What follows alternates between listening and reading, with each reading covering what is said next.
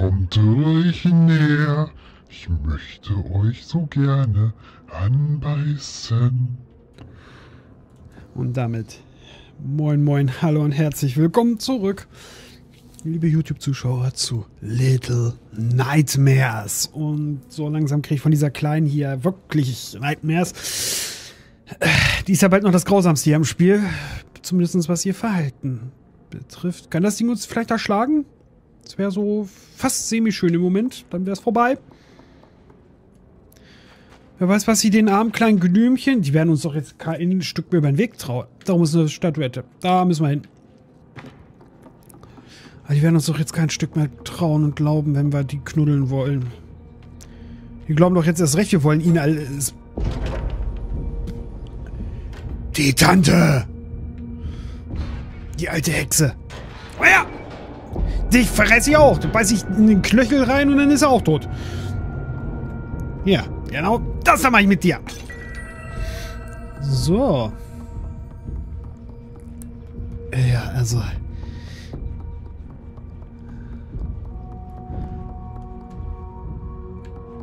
Hm.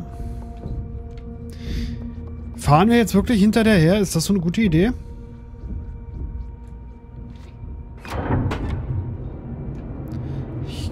Erstmal vorsichtshalber hier unter. Man weiß ja nie, was im Fahrstuhl äh, wartet und lauert, ne? Der Gästebereich. Eieieiei. So zugeben, dass ich das Spiel gerade doch so ein kleines bisschen suchte, weil ich finde es einfach mega mäßig geil. So ich, das hier gerade auf, also streame hier und aufnehme, ist noch nicht mal die erste Folge erschienen. Kann man die Kleider von der Alten anzünden hier, die Kimonos? Den Spiegel hat sie zerbrochen. Sie will sich also anscheinend selbst nicht mehr ins eigene Antlitz sehen. Wahrscheinlich hässlich wie die Nacht. Komme ich hier vielleicht hoch? Naja, nicht ganz. Schade.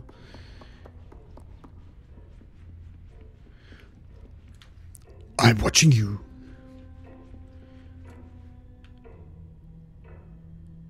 Ja, sehr nette Bilder hier. Und da brauchen wir wieder einen Schlüssel. Och no. Und da ist ein Bild verhangen. Das macht mich doch gleich neugierig. Komm her, komm her. Das kriegen, da kommen wir noch irgendwie dran, oder? Huh. Es muss doch gehen. Hui. Ah. Aua. Voll erstmal mit dem Gesicht dagegen. Hat's aber auch nicht anders verdient. Nee, geht nicht, verdammt. Ich würde zu gerne das, den Vorhang da runterziehen.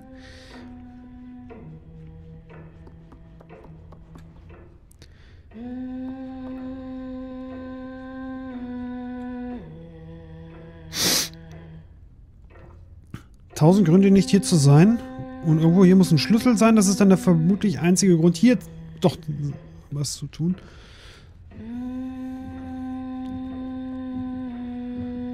Mit den zerbrochenen Spiegel. Und da ist noch eine Statuette. Och, gemein. Und der Herzschlag wird lauter.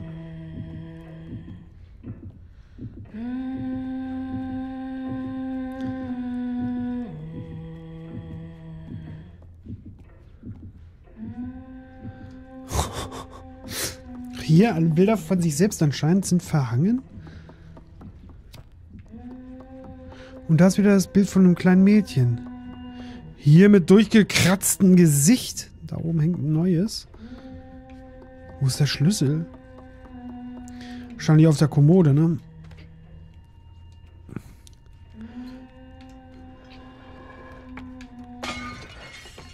Nein, da ist der Schlüssel.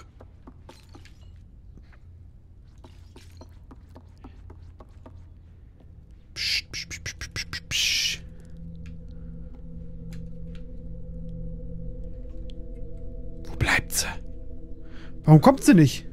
Warum hat der Schlüssel in der Vase? Ich hätte jetzt eigentlich fest damit gerechnet, dass sie angehuscht kommt. guckt. In der Zeit können wir raus. Ich kann kurz den Schlüssel da draußen irgendwo hin deponieren und äh, keine Ahnung. Oh, wir werden sterben. Ich zeige ja eh alle Tode. Passt also. Sie ist weg. Das gefällt mir noch weniger. Wenn ich ehrlich bin.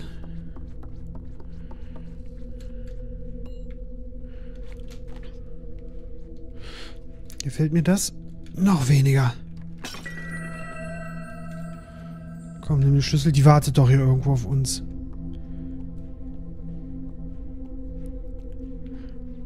Das Schreckgespenst ist doch da im Schrank drin, oder?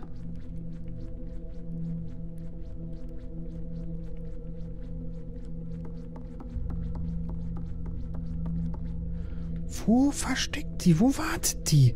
Vor allem theoretisch, die könnte sich ja in irgendeine Ecke stellen. Das würde wahrscheinlich auf den ersten Blick gar nicht auffallen, wenn man nicht aufpasst, dass da vielleicht doch nur ein Kimono auf so einem Mannequin ist, sondern sie steht.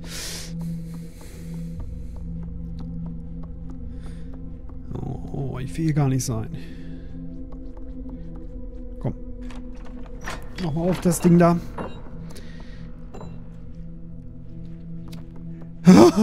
hier, genau sowas meine ich.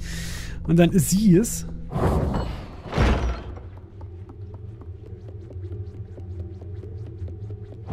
Sie. Ich wusste es, ich wusste es, ich wusste es, ich wusste es, wusste es, wusste, wusste es. Wusste, wusste, wusste es! Schreckgespenst!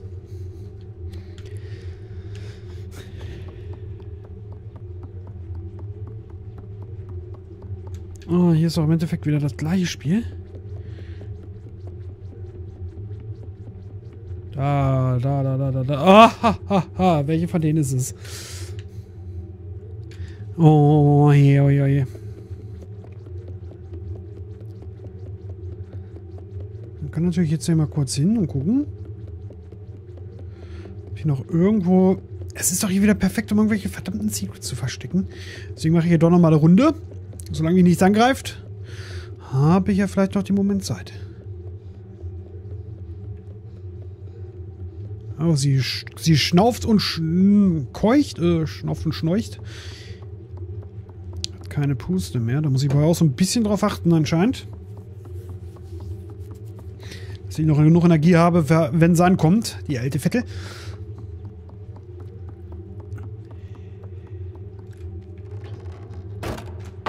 Vermutlich jetzt. Oder auch nicht?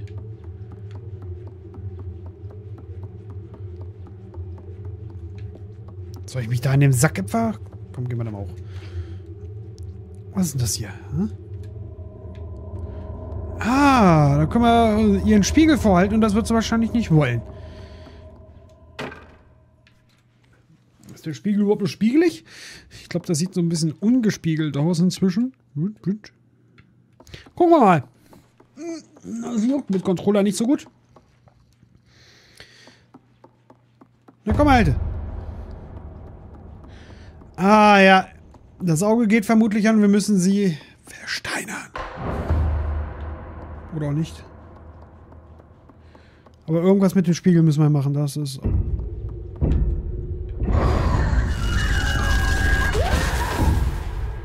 Ah, das findet sie nicht gut. Ah, stell wieder auf, Mädchen. Wir müssen auf jeden Fall die Lichtflecke suchen. Da. Denn wenn sie uns angreift, brauchen wir das Licht, damit sie sich selbst im Spiegel sieht. Komm ruhig! Deine Maske täuscht nicht! Dass du im tiefen Inneren eine verabscheuenswürdig hässliche Seele hast. So. Und irgendwie hat das Gefühl, das große Auge könnte auch noch ein...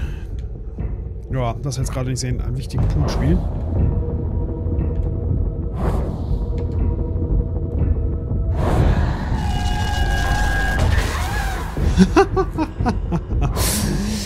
Spiegel haben Macht. Und hier sehen wir es. Per das Ding. Ich hoffe, das Ding zerbricht nicht, weil da weiß ich nicht mehr, was ich machen soll, außer weglaufen. Mich verstecken und äh, bibbern. Dum, dum, dum, Na komm! Na komm!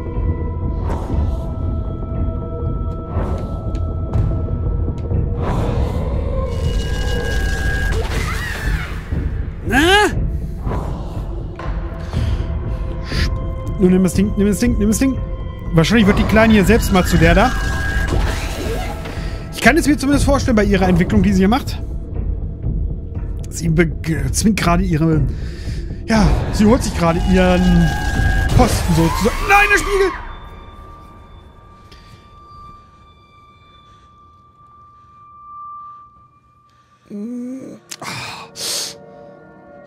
Steh auf, Kleine. Und nun? Gehst du hin und frisst sie oder was? Der Hunger kommt doch schon wieder. Oh, ich... Warum muss ich recht haben mit solchen Vermutungen? Und ich scheine recht zu haben. Ich würde mir ja die alte gerne mal von nahen angucken. Jetzt erstmal hier zu deiner Maske, ne? Damit du es weißt. Vielleicht kannst du nett sein und ihr die Maske am vergehen und sagen, okay, lass mich gehen und alles ist gut. Nein! Sie wird der Albtraum. Sie ist der kleine Albtraum.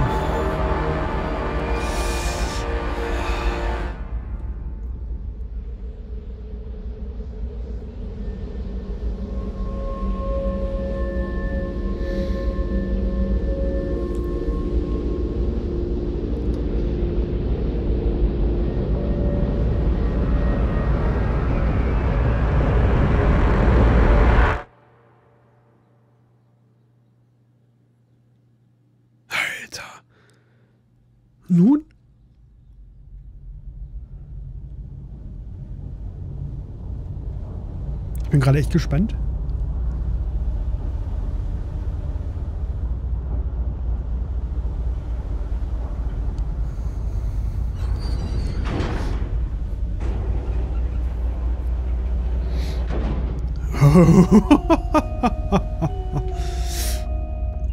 oh, Mistelf, Mistelf, Unheil.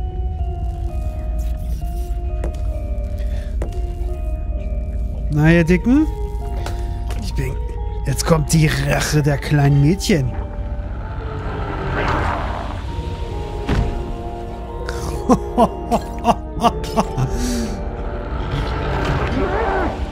du auch, fette Oma. Er kommt! Ja, kommt ruhig. Du auch? Er will schon nicht mehr. Na komm mal, ey. Ich habe keine Angst vor dir.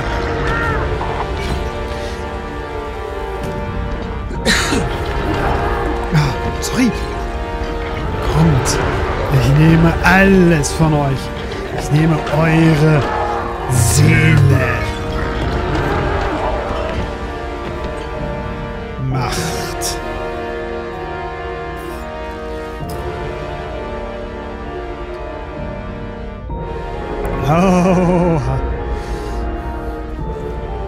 Wir jetzt auch vielleicht auch nochmal den armlosen Hans sehen. Und Koch Erik.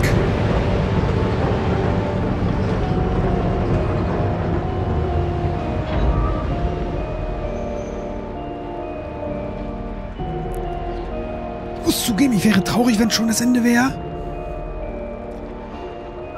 Die Räume der Herren. Ihr seht ja die Achievement-Einblendung nicht. Deswegen lese ich sie gerade vor. Und ich habe echt den Verdacht, dass es das doch leider schon war.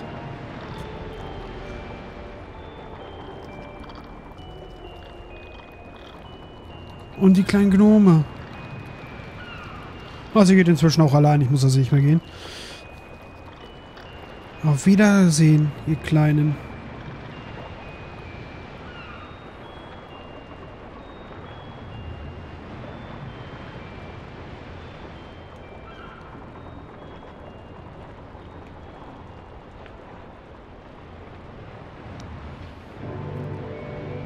Tja, Tasiere Studios.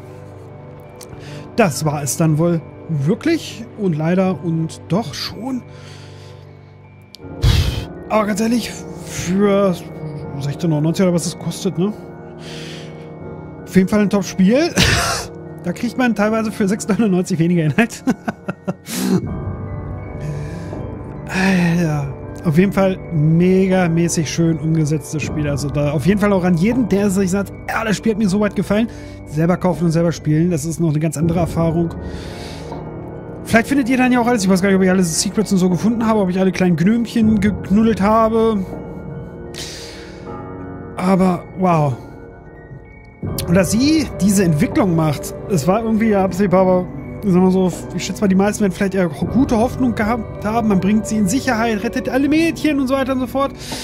Und ich bin ja halt eher so der düstere Typ, der sich denkt, da kann unser kein wirkliches Happy End geben. Und ja, am Ende hat sie dann Gnomis getötet, hat die Herren getötet, hat ganz viele von diesen verfressenen Feisten getötet. Also sie ist eigentlich mehr oder weniger zu dem geworden, was sie, vor dem sie fliehen wollte, was sie, dem sie entgehen wollte. Puh. Ja, einfach nur mega schönes Spiel. Und wie gesagt, kaufen auf jeden Fall, wenn ihr solche Spiele mögt und selber spielen wollt, kauft sie. Nicht irgendwie böse runterladen oder so, sondern wirklich auch kaufen. Denn nur so gewährleistet ihr und wir alle, dass es auch in Zukunft solche tollen Spiele geben wird. Und ich bin gespannt. Es ist ja auch noch ich weiß gar nicht, ob da vielleicht auch noch irgendwie so DLC-mäßig irgendwas kommt, geplantes, Zusatzinhalte. Ich werde auf jeden Fall einen Blick drauf werfen und riskieren. Und ob das Spiel jetzt an drei, ja, in zwei Tagen, ich habe es gestern gekauft, hat die ersten drei Folgen ja so aufgenommen. Dann gestern äh, Live-Let's Play gemacht, die erste Runde hiervon. Jetzt die zweite Runde heute guten Morgen mäßig und dann haben wir es jetzt schon durch. Das ist natürlich schade, aber ganz ehrlich, es war ein schönes Spiel für den Preis auch in Ordnung. Voll und ganz. Oh, und für mich geht jetzt wieder dann die Überlegung los, was als nächstes? Vielleicht doch Outlast 2. Oder doch mal wieder einen größeren Titel, so wie Prey oder so. Ich bin mir auch echt unsicher. Aber schade, dass gerade so auf Twitch gar nichts los ist. Keiner dabei. Schade, ich bin ganz allein. Anscheinend zumindest. Zumindest hat sie noch niemand im Chat irgendwie bemerkbar gemacht. Oder er liegt bei mir nicht. ich sag es gerade und da kommt einer rein. Hallo Chris.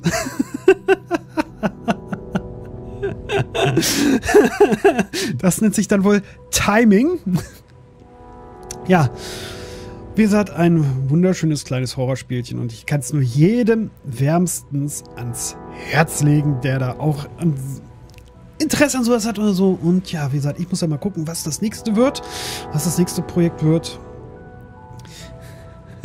ja, perfektes Timing, schreibt er auch gerade. Jetzt zum Outro kann ich ja auch ruhig auf den Chat reagieren.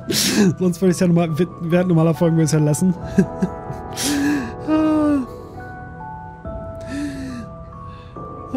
Das ist gut. Das ist echt gutes Timing. Mal gucken. Wie spät haben wir es denn? 11 Uhr. Mal schauen, ob ich vielleicht noch irgendwie was anderes gleich mache. Auf jeden Fall haben wir jetzt Live Let's Play von Little Nightmares hiermit beendet. Ich hoffe, euch auf YouTube werden die Folgen gefallen haben. Würde mich natürlich freuen, wenn es euch gefallen hat. Wenn ihr dann mich unterstützen wollt, wisst ihr, wie ihr das machen könnt, ne? Kennt das ja. Links soweit in der Beschreibung. Wenn ihr zum Beispiel bei Amazon mal was kauft, gibt es auch so einen schönen Link. Einfach mal draufdrücken, was Warenkorb schmeißen, Bestellung abschicken. Da könnt ihr mich richtig doll mit supporten sogar. Und in dem Sinne an euch, liebe YouTube-Zuschauer, noch einmal vielen Dank, dass ihr dabei gewesen seid. Und ich hoffe, wir sehen uns im nächsten Projekt wieder. Tschüss.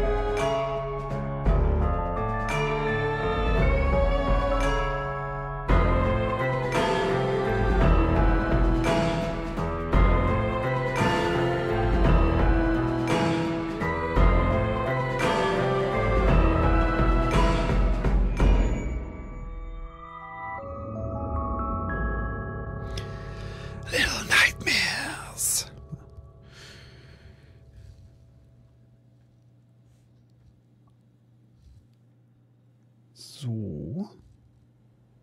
Was zum...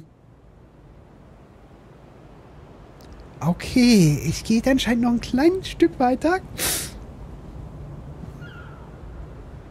Ach, danke fürs Spielen. Oh, gut, super. Mal Maus aus dem Bild. Supi.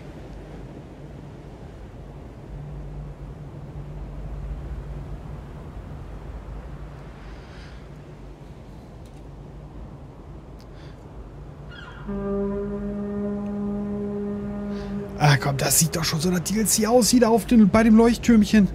Oder was auch immer das darstellen soll. äh, ja, damit ist es wirklich durch. Alles klar. Extras. Ich gucke noch mal kurz in die Extras rein. Die Masken. Ja, die beiden hatte ich ja. Konzeptkunst. Oh, ich habe echt ein, einiges noch übersehen. Schade, schade. Na gut. Dann beende ich jetzt mal an dieser Stelle die Aufnahme.